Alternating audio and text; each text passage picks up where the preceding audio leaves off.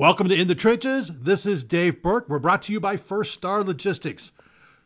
Tonight, the Bengals finished their preseason slate with a 16 7 win over the Los Angeles Rams. And as always, Dave Lapham was on the call, and Dave has joined us. Dave, I think we have to start at offense. Uh, that fight for spots on this roster continues to heat up, especially players at the wide receiver position as guys like Trent Irwin and Kendric Pryor uh, made their their last statement of what they can do to this for this team. Yeah, there's no doubt. I mean, it started with Jake Browning. Jake Browning goes 19 for 24 for 173 yards and a touchdown. Um, Brandon Allen was solid too, 11 for 15 for 130 yards. So I mean, that's uh, that's pretty good production. That's 300 yards uh, out of your out of your two quarterbacks and in so doing, they complete uh, 30 out of uh, 39 attempts. That's pretty pretty productive, and they they distributed it well. Irwin had nine catches for 93 yards. Lassiter had five for 42 yards. Pryor had five for 65 yards. So they had three different wide receivers or receivers uh, catch five or more passes. Uh, Trayveon Williams had four catches for 40 more yards out of the backfield. He ran the ball effectively as well. I mean, a lot of good offensive performances. Uh, there's uh, there are no no two ways about it. Jake Browning got his first touchdown pass in the preseason in his uh, in his NFL career. I think he played in about this might have been his eighth preseason game that he's been a part of, and he, he gets that uh, gets that touchdown pass. So, yeah, they they were very productive. I thought that uh, the wide receivers and quarterbacks were on the same page. A lot of zone defenses. Uh, they played cover two, and uh, some of the time and, and other coverages, and the middle of the football field was was wide open, and and behind the linebackers, in front of the safeties. Uh, Trent was making a living there. Others were as well. Then when they made adjustment to try to take away the middle of the field, they worked uh, from the hash mark out to the sideline at the numbers and, and made catches there. So they, they had a, a real good idea of what was going on and how to attack it. And, and they did it uh, pretty darn successfully. There's no question about it. Now, you know, wish wish they had taken advantage of of all opportunities. They had field position pluses early in the football game and had to settle for a field goal again. Uh, they had turnovers that were that were uh, they won the turnover battle. They were plus two in that area. They forced three fumbles, recovered two of them. Uh, so it didn't turn the football over. They took care of the football. So they did a lot of things right offensively and were complemented uh, very, very well defensively as well. When you when you hold a uh, shut out a team for three quarters like the Bengals did tonight, uh, I don't care if it's a preseason game or, or what the heck it is. These these guys are all fighting for their lives, fighting for jobs, and the defense steps up like they did, and uh, and just and shuts them out for three quarters of the football game. That's a that's a darn good performance, and a lot of guys stepped up. A lot of young defensive players stepped up as well, Dave. I mean, up front uh, in the defensive line.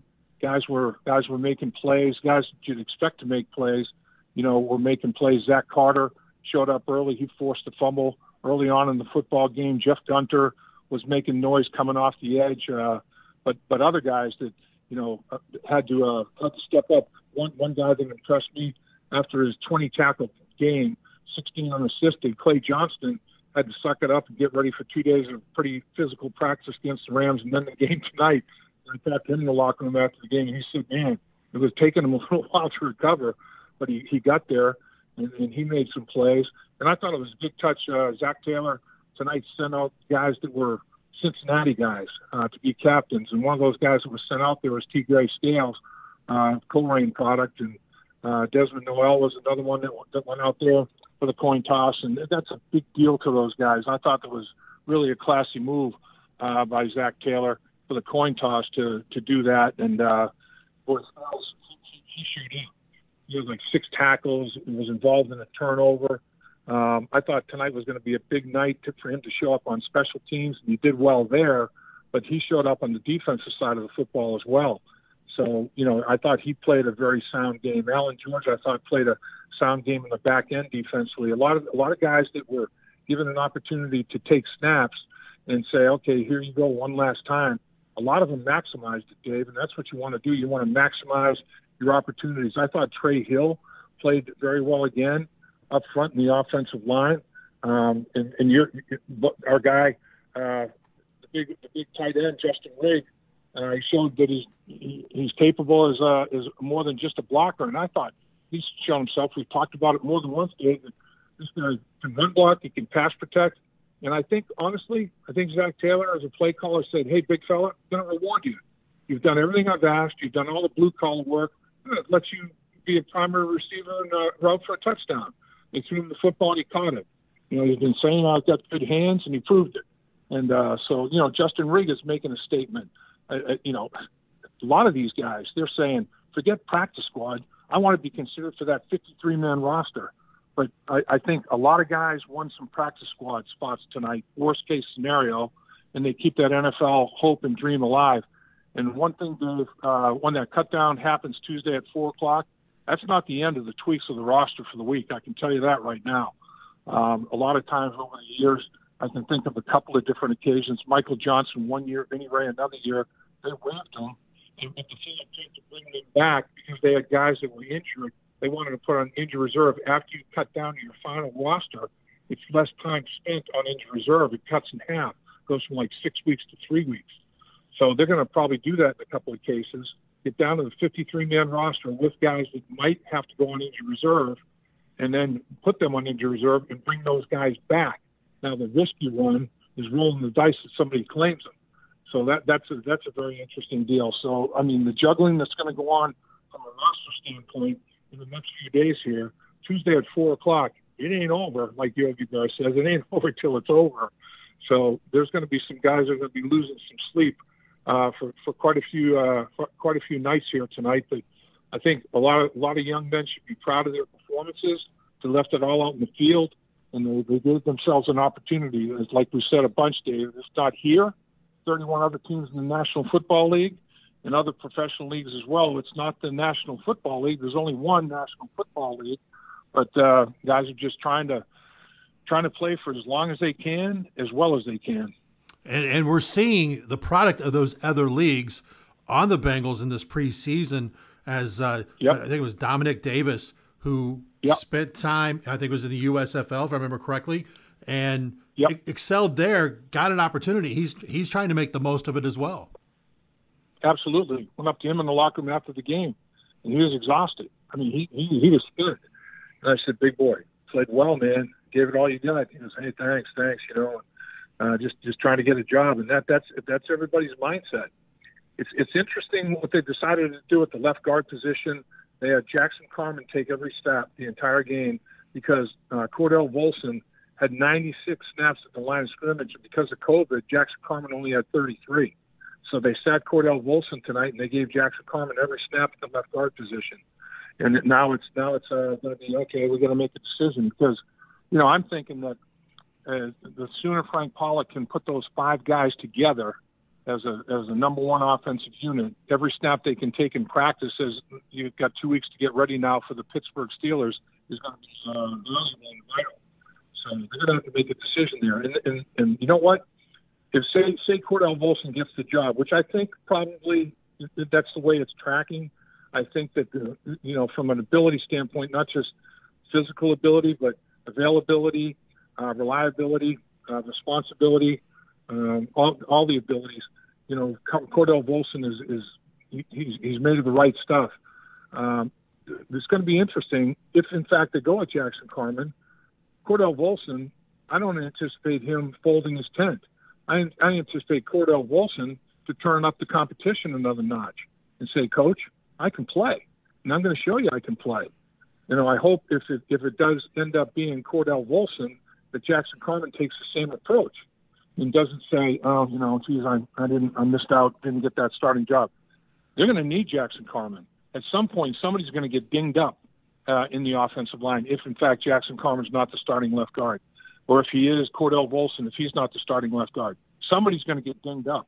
And you hope it's not for a, a, a big number of games. You hope, if it happens at all, that it's for a game, maybe a couple of games, whatever the case may be. You have to be ready to play. You can't get your dauber down. You can't mope. You can't feel sorry for yourself. You got to bust it. I mean, you know, I remember distinctly every single year Dave went to training camp thinking, don't have anything, got no job, Got to go win a job. First thing you do is you got to got to win a job. You got to make the final cut. The next thing is if you're going to end up being a starter, and approach it that way every every single year. If you start taking things for granted, that's when you're going to get knocked off your perch, man. So you know it, it's an unbelievably competitive environment. They're the best in the world. You know, there, there, there are guys. Who knows what kind of trade? Who might be out there on waivers for whatever reason? You just never know. So you can never say, "I've made it. This is it. I'm the guy. I'm in." Unless you're a superstar, you know, multiple every single year Pro Bowl player, that's a different deal. But if you're just a you know a guy grinding to uh, grind out an NFL career for as many uh, years as you can, you're going to approach every single year that you have to go win yourself a starting job, and and that's the that's the mindset I think to uh, you know to having some sort of a career. There's no doubt. In the Trenches with Dave Lapham is brought to you by First Star Logistics. If you're looking for a new career, First Star Logistics might be looking for you. They're a very highly active company in the community involved with sports and events across Cincinnati and the tri state area.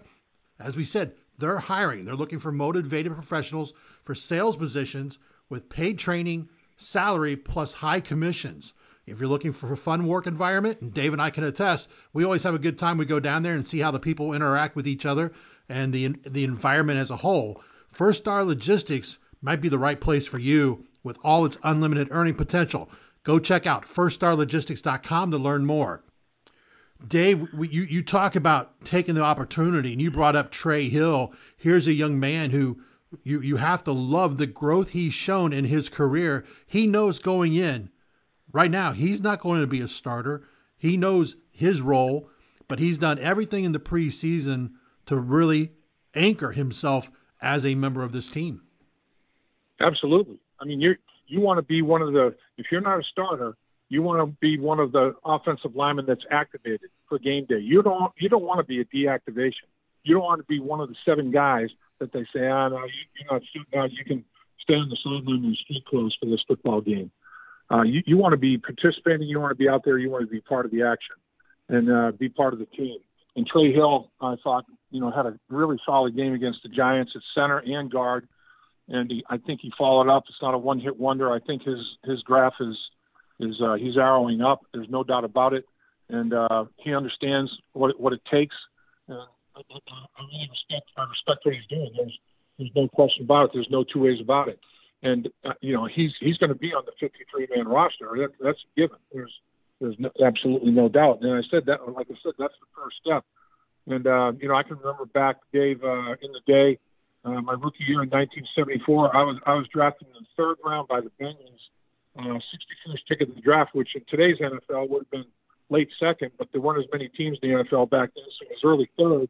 And uh, and, and then right after me, in the next round, they drafted uh, the we were the two AP All Americans, myself and, and a guy named uh, named Daryl White from Nebraska. And it's like, okay, here we go. It's battle royale. Who's going to make the football team? And there were six preseason games back then, and I played in the first three of them. I thought, oh, it's going pretty well. And then all of a sudden, I'm just playing on special teams, you know, kickoff return, extra point field goal, and Daryl's playing. And I'm like, oh boy, now what's going on? They have they seen enough, or did I stink? and Daryl's got the going to be getting the job, and how's he playing? And I mean, unbelievably stressful. You know, you just you don't you don't know what they're thinking, and and you can keep yourself up all night long about it. So, and Tiger Johnson has given no indication as to who's going to be, you know, the guy that the Bengals keep or not. So, I I bring my playbook with me because I think you know there's a chance it's not going to work out. So I, I um, go into the uh, go into Spinney Field, old Spinney Field with my playbook, and Frank Smiles was the top. He was the guy that cut everybody, and he's right at that front door walking into Spinney Field. So I kind of stop and stand in front of him and thinking, okay, is it me? You know, and he kind of looked like looks around me. I'm like, oh, I guess it might be not me. You know, so I walk in and go to my locker and I change into my shorts and t-shirt and go to the meeting room. And uh, Paul Brown in his meeting room, everybody had an assigned desk and you had a name, your name on a on a piece of tape up at the right upper right hand corner of the desk to identify exactly where you're supposed to be. And the offensive lineman he had sitting up right at the front of the room in the team meeting room, so you had to walk by everybody, get up front and sit right there. And then I was that's where my you know had, desk had been. So I'm thinking, I wonder if I still have a desk. And I go up there. can't find a desk. Can't find a desk with my name on. I'm like, son of a gun. I got cut, and That was a great impression I made on Frank Smelson, but he didn't even recognize me. He doesn't even know who I am. That's how, bad I must be. I'm thinking, oh my God, this is terrible. So I'm I'm I'm sweating bullets. I'm feeling the heat coming off my chest. I know I have to be beat red. So I'm like, all right, show some class. Find Daryl, congratulate him. I turn around, and Daryl was, you know, had been sitting behind me, and I looked, and there's no Daryl. I look around all the offensive linemen, you know, the veteran guy. There's there's, there's no no Daryl. So I'm thinking, wow, they cut both of the rookies. This is unbelievable. Well, Stan Walters, who was with the Bengals at the time, he became a Pro Bowler with the Eagles. We traded him for John Reaves, quarterback, and he went to the Eagles and became a Pro Bowler. And he was my teammate at Syracuse, a couple years older than me. He had hidden my desk in the closet unbeknownst to me. So he starts chuckling and laughing. He goes, "Hey, dumb rookie, yeah, yeah, you know." He pulls my desk up. I was, I was ready to kill him. I mean, I was like, so, so, so, man, just like my blood pressure had to be 200 over a thousand. And um, so then after after the meeting, Paul Brown comes up to me. He goes, "Congratulations, young man." I said, "Coach," I said, "Wow." I just, you know, I was thinking after the first three games, up, up, up. That's your first mistake. Don't be thinking. I'm, I'll do the thinking. You just go play. You go play. I said, well, coach, can you tell me what happened to Daryl? He goes, yeah, we traded him to Green Bay. And so they traded Daryl White to the Green Bay Packers for draft picks, and uh, I made the team as a rookie, and uh, and, and it was about as stressful a time as I could ever remember. I, I just got married like a couple of weeks before training camp, went on a quick honeymoon, and I remember calling my wife Lynn and saying, Lynn, I think I made it. And then called two nights later. Ah, I think I'm kind of, I don't know. I didn't pass test very well against Mike today. I think you're going to have to me. Uh, I'm going to have to find a job. Make sure you keep the classified ads in the Sunday newspaper. I'm going to be looking for a job. So it was it was unbelievably stressful. So I can identify with what these guys are going through right now, and it's not going to be an easy next uh, next couple of days as they wait for that Tuesday deadline at four o'clock in the afternoon. And like I said before, it's only the beginning. It can tweak and uh, tweak for two or three roster spots potentially. You're hoping you're not one of them. There's no doubt about it. Well, two local guys who are going to be waiting for what happens is at the punting position, longtime Bengals kicker Kevin Huber, who I've had the chance to cover while he was at the University of Cincinnati, and Drue Chrisman, who I covered when he was at LaSalle High School uh, back in the day. Uh, both, you know, are fighting for that job. And today against the Rams, Chrisman had two punts for 53 and a half yards as an average. Huber had two punts, and while the average was only 37 and a half, both of his punts were inside the 20. How do you see that battle playing out? You know, it, it's interesting how, how the battle played out to their strengths. Uh, they were alternating punts, and Chrisman had an opportunity to just boom them, you know. And one of them hit at the five yard line and bounced in the end zone uh, but it was still a 45 yard punt. It was a 65 yard punt in the air. You know, it's like unbelievable, and that's what he can do. You know, there's it, it, there's going to be times during the season where you're backed up inside your own 20 yard line and you're facing fourth down. You want a punter that can uh, flip the field. Well, this guy can do that about as well as anybody. He's got a howitzer hanging off his right hip. But then, you know, Kevin Huber, the, the punts that he had an opportunity to uh, to execute tonight, those were you know, kicking from about midfield or just beyond midfield to directional punt and pin them inside the 20, inside the 10. He's unbelievably effective at it. That's what he does best. That's what Chrisman struggles at. Kevin struggles with the booming punts because of his leg strength at his age. So it, it's very interesting. Both of them executed the things they do well, but neither one was put in a position where they had to do the thing they didn't do well. So Darrin Simmons is still like, yeah, geez, I look at the tape. This is what they can do. Now I have to make a decision. And, and what it boils down to is both both things are amazingly important. Um, you want to pin if you can pin an offense back not only inside their own 20, inside their own 10 yard line, which Kevin has done multiple times over the years. and You make them go on a long field, 90 yards to, to pay dirt, and uh, you know, 60 plus yards for a field goal, legitimate field goal opportunity that changes the way you call plays. That uh, you know gives the defense more incentive, gives them a little bit more juice. Offensively, you may become a little bit more conservative. You certainly don't want to turn it over, give the opposition a short field. So you know there are so many you know ripple effects from pinning the team back like that, and Kevin does that exceedingly well. But if you're if you're pinned on the other side of it, if you're you can't punch out a bad field position, you have to punt from your own 10 yard line. Chrisman's a guy that can put them back at their own 20 or 10. He can flip that field like that. So I guess maybe Darrin's going to okay over the course of the season, which is going to happen more, and which do I think is is uh, you know is is the most important because that's what it's boiling down to. Um, and it was interesting in the early stages of training camp when he was talking about it. He said, you know, the role of the punter has changed so much in the NFL because they're all holders, and it's like 60% holder, 40% punter now. So I'm thinking, oh, he's going with Huber. Then you know, Clark Harris and Kevin Huber have never had a mishandled snap. So that's that's massive over a bunch of years like they've been together. How do you mess with that? And that operation is so clean for McPherson, you know, and give him confidence. Uh, but then as as time's gone on, um, now Chrisman, who's got great eye hand coordination himself, now he's really focused on the holding, and it's, it's a it's a toss up there according to Darrin Simmons when he's tracked everything. He's had different snappers, different holders, different kickers, and tracked you know all of it, and there hasn't been any kind of a, a big you know uh, glitch in in terms of numbers and percentages because this snapper is snapping, this holder's holding, the kicker is a constant, obviously with McPherson he's so damn good. That's probably why it's not that big of a difference. This guy is unbelievable. He kicked another kickoff 85 yards through the uprights. they should give him a ruse or something, man. They should give him something for that. But he, so all of, all of those things are going to be part of the consideration. And uh, from the very beginning, I thought, mm, a guy like Kevin Huber, it's going to have to be a knockout punch, not not split decision. So I, I don't know. I mean, it's going to be it's going to be a very very interesting decision for Darrin Simmons to make. Uh, you know, I, I can. Uh, if he goes either way, it's not like I'm going to say, "Why did he do that?" Oh my God! I mean, they're blessed, and whoever gets waived is going to get a job. There, there are teams in the National Football League that have waived their punters because of stupid off-field things that took place and uh, PR nightmares.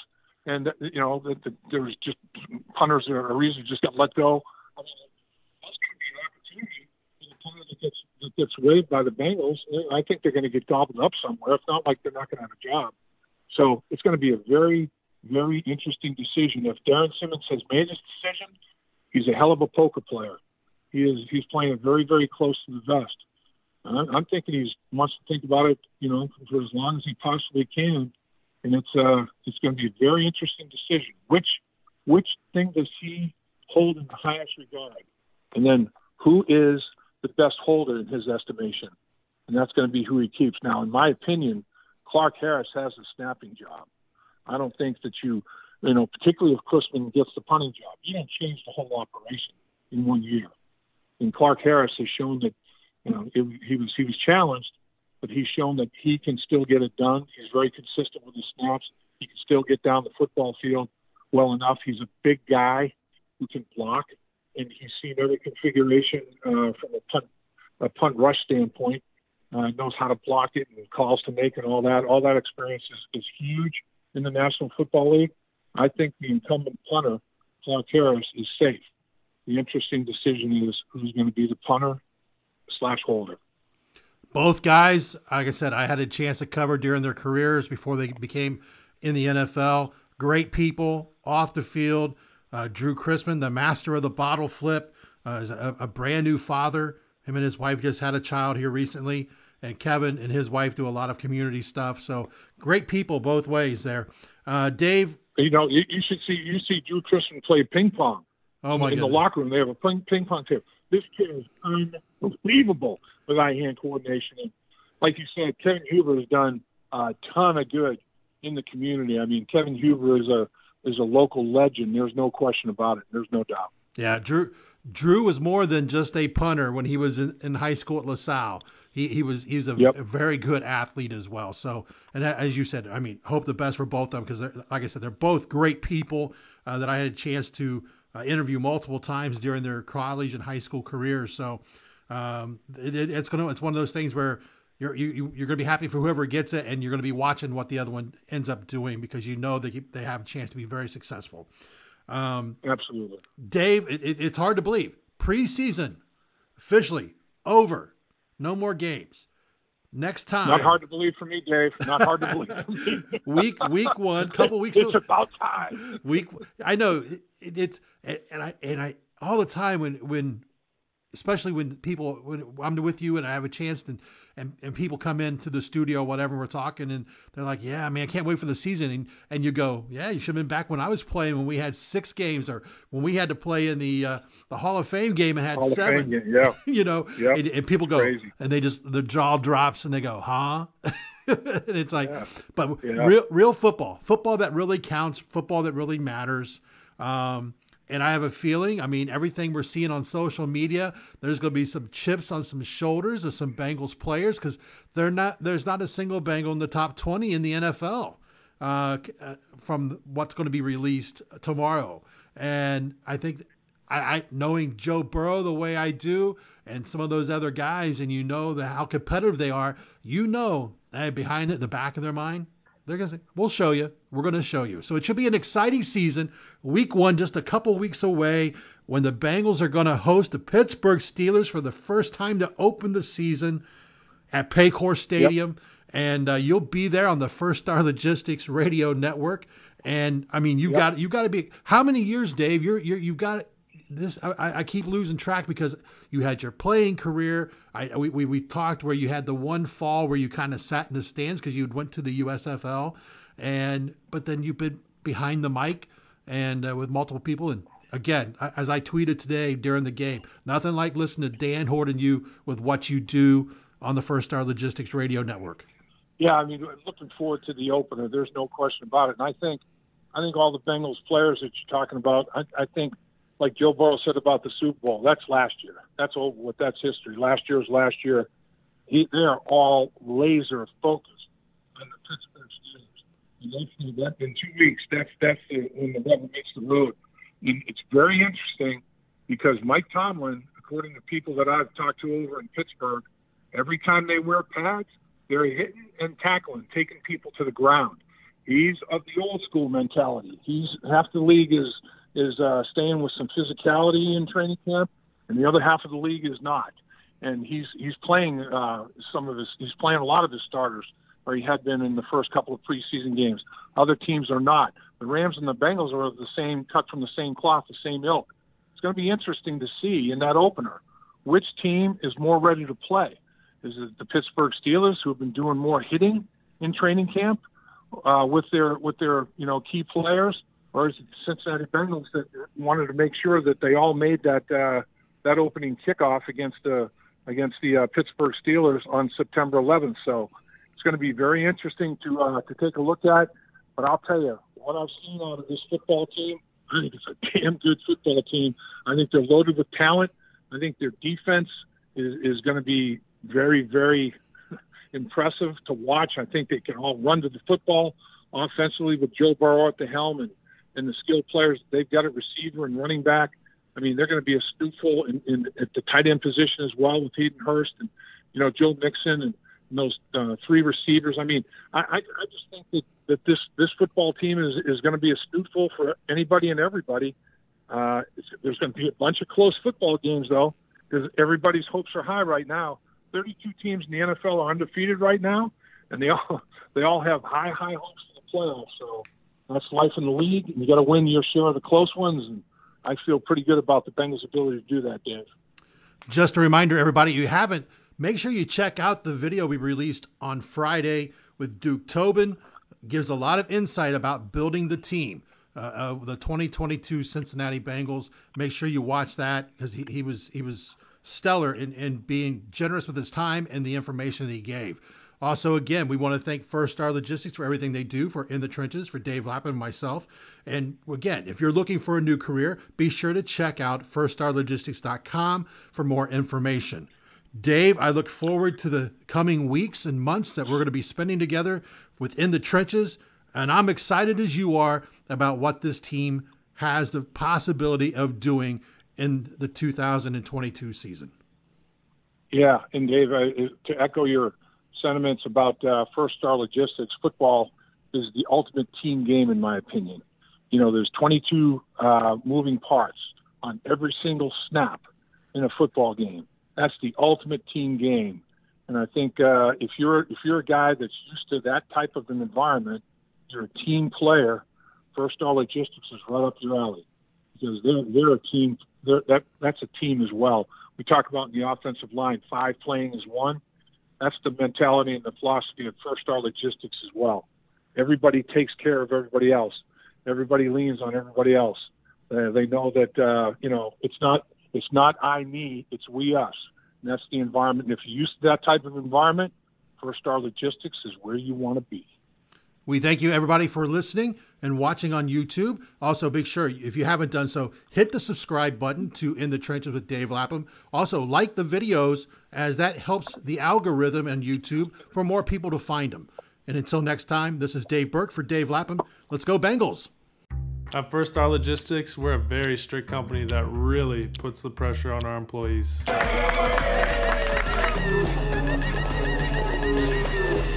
Breaks? What are those? That's what I'm talking about, Ickey. Get the body right, then the mind's right, you know? You know, gotta get that body right. That's right. Yes, sir. Become a star with a chance to earn the highest commission percentages in the industry as a freight broker agent. Check out firststarlogistics.com.